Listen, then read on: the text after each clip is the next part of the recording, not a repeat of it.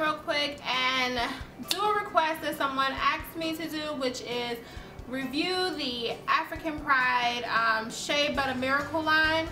Um, I do have quite a few products, but I don't, I think they have like a detangling shampoo or something like that. So that's the only product that I don't have, but all of the rest of the products that I have.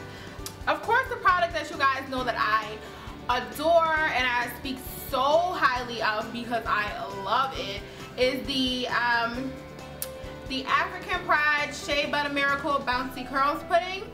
Um, I use this on my hair all the time. Like this, oh, this product, I just, I really, really, really like it. Like I can't, there's nothing negative that I can say about it. Um, it's just amazing to me. Always get positive results every single time I use it. Um, like I said, I really, I can't say anything negative about it. It's a creamy substance. Um, hopefully you can see. And it's all gone. This tub is gone. I have none left. I have to go to the store and buy some. But it's 15 ounces. The directions say to rub a generous amount of pudding between your palms and gently finger comb section by section. From root to ends, continue stretching and elongating curls until satisfied with your curl definition. So I'm guessing that people use this actually as a wash and go product, but you guys know me, I don't do the whole wash and go. I use it on my twist outs. I did try this on a braid out once, but I just, I can't stand braid outs. I don't even know why I tried it. But on a twist out, it leaves my hair so moisturized. Although I normally don't use creamy products for um, wet twist outs, I actually did on this and I got really good results. My hair didn't feel um, dry. It didn't feel really shrunken. My hair still felt moisturized.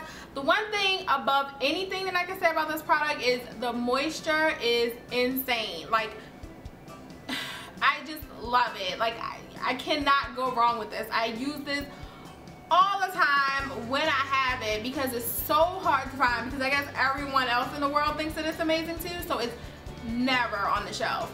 But I really love this product for the people who, you know, don't do cones at all. You cannot try this. So yeah. But I really, this is my favorite amongst the entire line. Like I adore the Bouncy Curls but I Love it. The next one that I'll go ahead and talk about is the leave-in conditioner.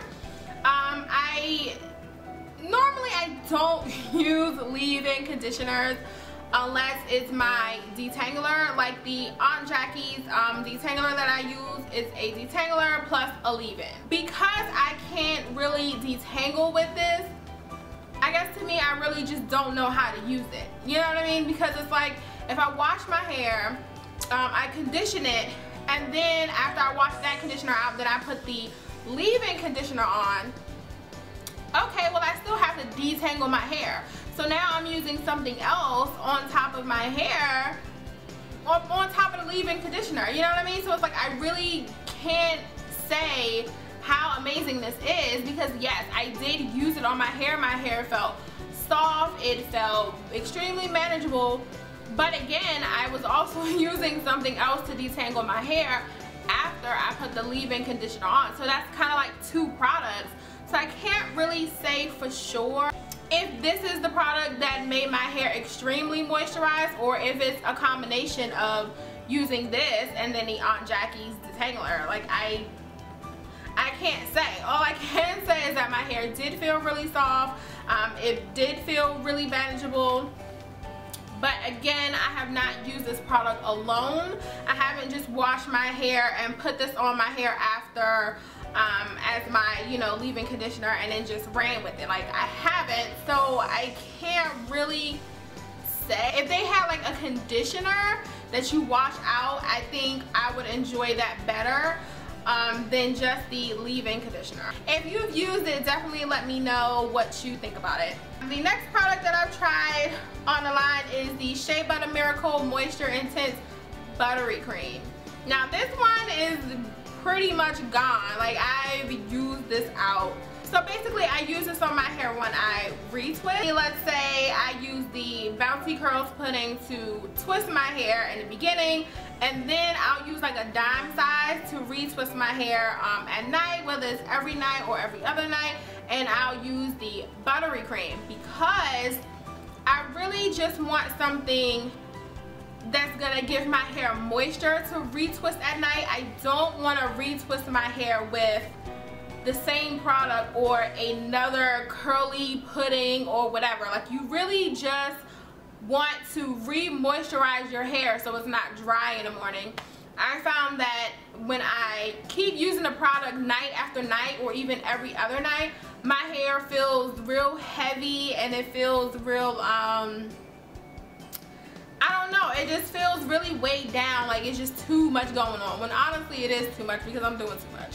So I retwist my hair, like I said, every night or every other night with this, and the next morning my hair is always soft, and it gives me that like real fluffy look that I'm always trying to go for. Um, so I really enjoy this. I have nothing negative to say about this. This is basically just moisturizer that's what I use it for. I really love this. Um, would I run out and purchase it all the time? No, it's not a need that I have this, you know, in my collection. But if I do see it and, you know, I'm feeling good that day, then yeah, I'll probably purchase it again because, I mean, it works for me. It's really good. So I like this one. And the last product that I have from the African Pride line is the Silky Hair Moisturizer. Now I have heard seen on Instagram that a lot of people really don't like this. I think I might be the only one who stands for this. I don't know why.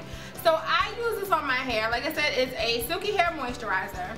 But I don't use this on my hair when I um, retwist. I think I did when I first bought it. But then I was like, yeah, I'd rather use the um, buttery cream because this is a little more heavier. So I use this on my hair, like let's say I'm wearing like two flat twists or I'm pushing my hair back into, you know, a bun for the week because I'm being lazy. Um, I will use this like on my edges or just like my whole entire head. Like I'll just pour this, well not pour because it's really thick, but I'll squeeze this into my hand and put it all over my hair and then, you know, work it in um, with my fingers and just smooth it in my hair and work it in like that.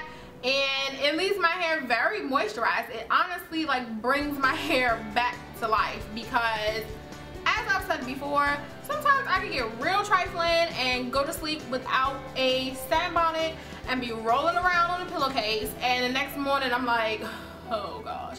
Like my hair feels dry like tumbleweed so if I put this on my hair I don't spray water on my hair um, if I use this because I don't know. That just doesn't seem I don't think that water and this would mesh well. I think it would take a long time for this to dry and really work in your hair. If you wet your hair in the morning and then put this on top of it that's just what I think because it's very thick. Girl you can try it and let me know. I however just put this on my hair. Like I said I just work it in really good and my hair feels soft it looks like you know it has some life to it. It doesn't look like I've been rolling around on my you know non-satin pillowcase at night. If I had to give the whole entire product line a grade I would definitely give it a B. Um, only because of the leave-in conditioner I guess. I just uh, and you know I don't use the shampoo but that's no fault of the company. If you've used any of these products definitely let me know how they work for your hair. Everybody has different you know textures and all that jazz. So um, yeah definitely let me know what you think and I will talk to you guys soon